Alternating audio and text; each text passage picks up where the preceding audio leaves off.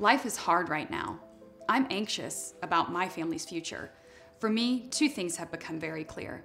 First, our kids need access to good public schools to thrive. And second, affordable health care is critical, especially for Oklahomans with pre existing conditions, like COVID 19.